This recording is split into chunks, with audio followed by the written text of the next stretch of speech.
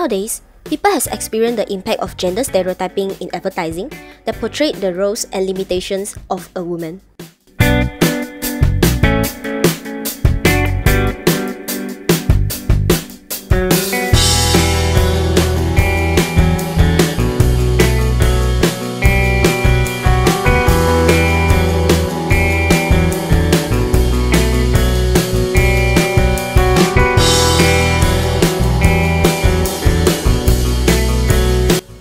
Years, some companies such as Gucci and H&M has been judged for publicized stereotypes contents that have resulted in huge amount of negative PR. Companies should practice marketing 3.0 that aim to fulfill not only the consumer but have a bigger aim on contribute to the world. Instead of treating target market simply as a consumer, the company should approach them as a human being with spirit and mind. Consumers are always looking for a product that contains more on human spirit fulfillment instead of emotional and functional fulfillment. Marketing 3.0 is about enhancing the human spirit marketing along with emotional marketing. By banning the gender stereotyping content in advertising, the company are able to regain customer trust.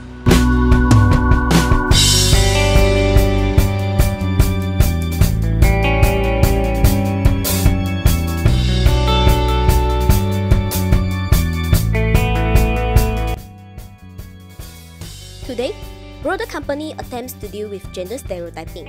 For example, Unilever launches its Global Unstereotype initiative in 2017 with the purpose to allow its brand reflect on how they characterize women in their ads, as well as avoid tired stereotypes. This has took them one step further by collaborate with 24 companies to form an Unstereotype alliance with the purpose of tackling the issue at an industry level. This company include Facebook, Twitter, Google, Microsoft, UN Women, P&G, and more.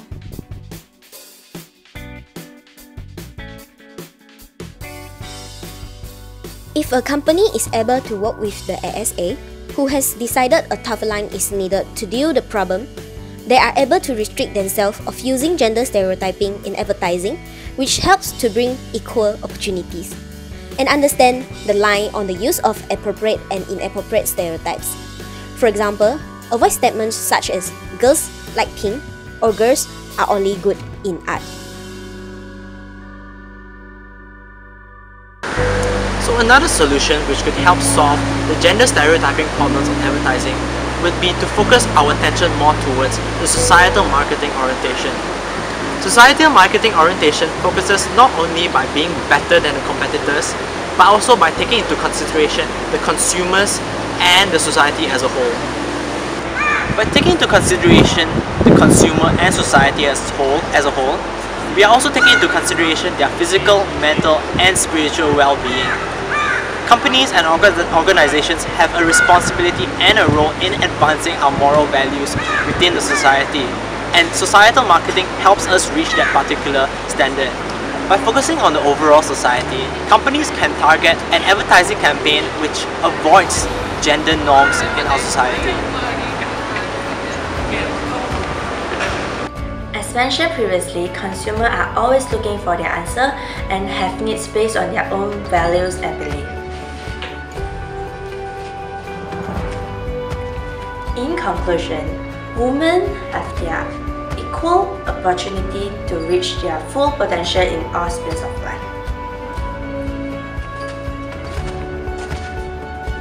Companies should practice more on different theories like Marketing 3.0 and societal marketing in order to deliver customer needs to show more on human spirit fulfillment and build long-term relationship. Last but not least, stereotyping is a very important issue nowadays and everyone should be treated equally, especially women.